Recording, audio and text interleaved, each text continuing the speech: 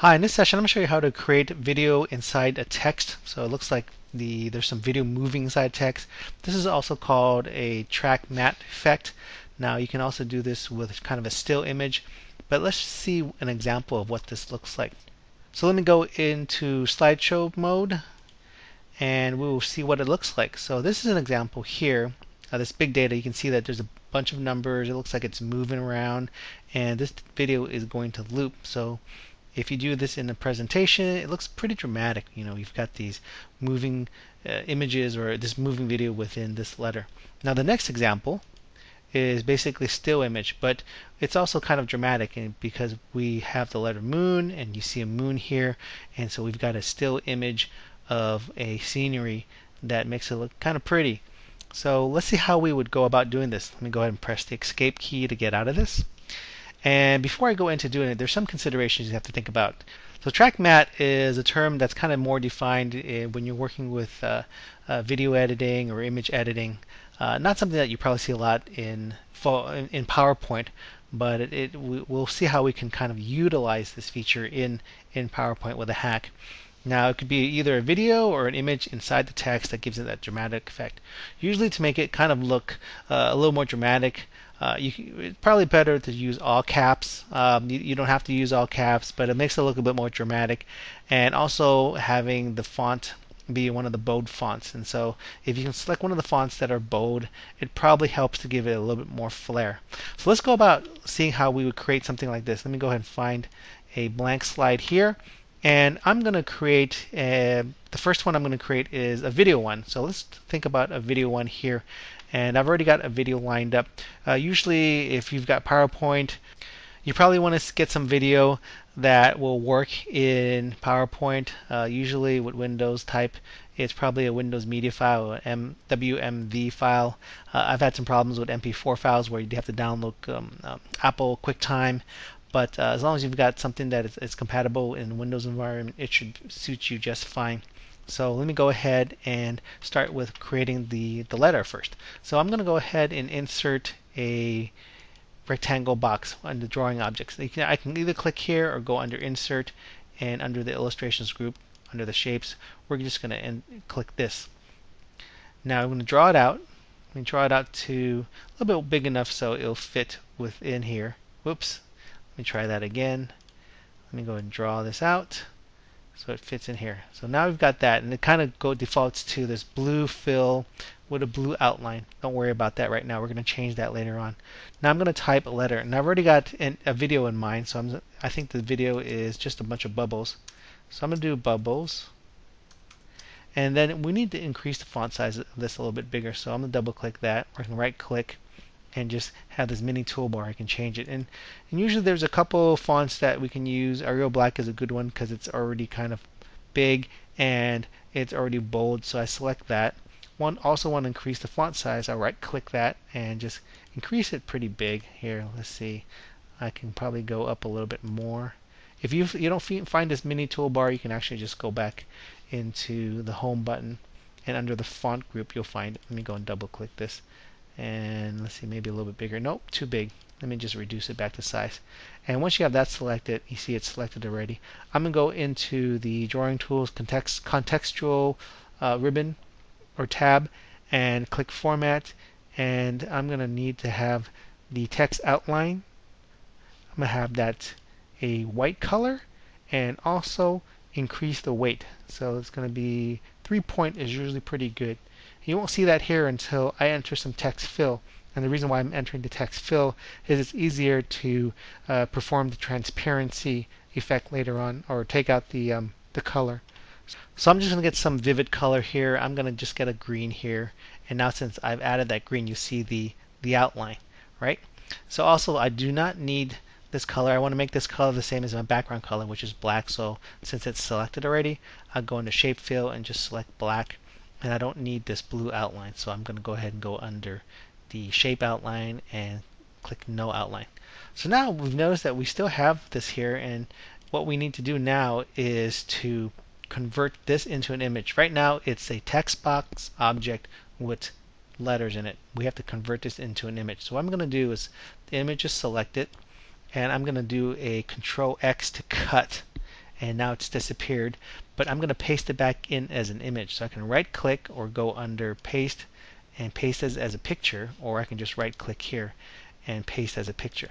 Now this is a picture now so you can't edit this text anymore but what I want to do now is I want to edit this picture. I want to get rid of this green color.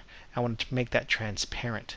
So uh, it's selected now the picture tools contextual menu shows up now since it's a picture and not a square object anymore, not a rectangle object.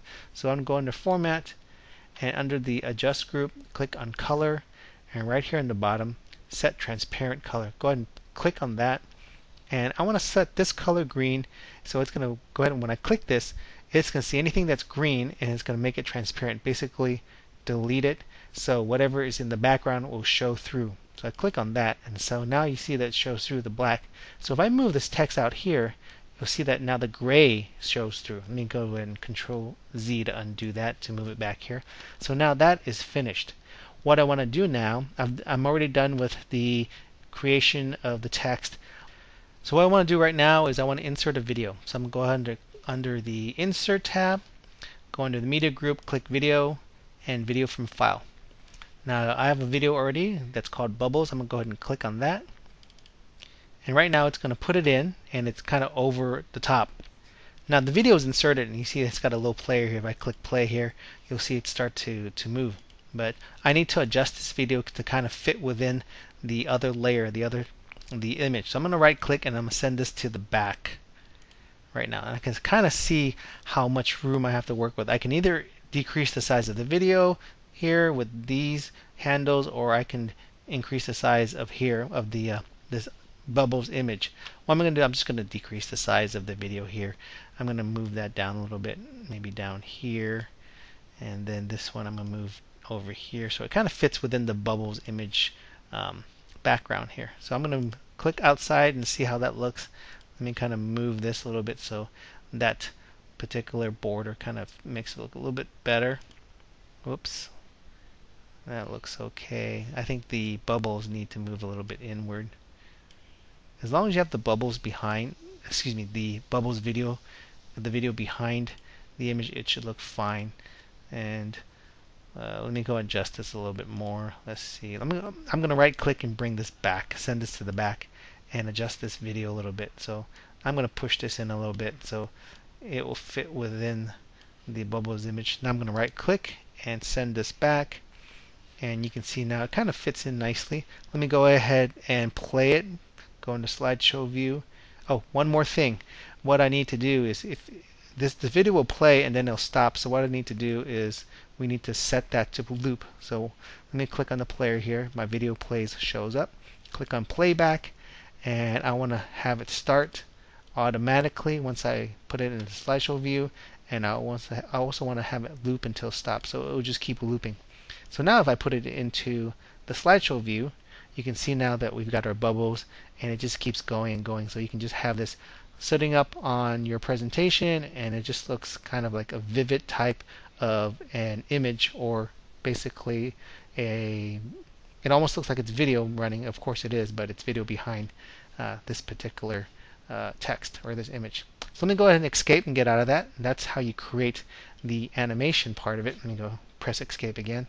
Now what if we just wanted to add something that's a still image? Basically it's the same concept and I'm, I have an image already. I'm going to go ahead and do this a little bit more quicker since I'm in the home ribbon. I can go into the drawing group and just enter a box like I did before. I'll draw out this box and the image that I have is a desert. So I'm just going to go ahead and type desert, D-E-S-E-R-T, and double click that and increase this, increase the, uh, change the font and then increase the size. Let me increase the size to make it a little bit bigger here, a little bit bigger, and then uh, let me go and go into Format and change the text outline to white, and then the weight to 3, and then the text fill, let me change it to green. So now we've got that there. And I also need to change the shape fill and the shape outline. So shape fill, that's going to be black to match the black here. And I do not want an outline. So I'm going to click that and go no outline. And so now I've I've got the formatting done and I want to turn this particular object into a image now. So what I'm going to do is I'm going to control X to cut and then I'm going to right click and then paste it as a picture. And after that's done, I need to set the transparency here. So now I've got my picture tools here. I go to Format, click on the in the Adjust group, click Color, and then set Transparent Color. And this color, I'm going to pick this color as my transparent color. And now the black will show through. Now that part is done. Now I want to insert an image, so I'll go into the Insert tab, click on the Picture command, and then we'll bring up the folder where I have my image. I have an image of a desert, so I'm going to click on that and click Insert. And now the desert shows up, but it's kind of overriding everything. So I want to kind of adjust this now. I'm going to right click to send this to the back. And now it's kind of formatted already, so I didn't have to do too much adjustment. The difference between an image and the video, of course, is you don't do have to do as much editing because you don't have to, of course, loop it or have it start. I can just click on the slideshow view, and now you can see that it looks like a desert that's popping out of the words. So that is how we create that effect with an image. So there you have it. That's how we would create video in text or the track matte effect.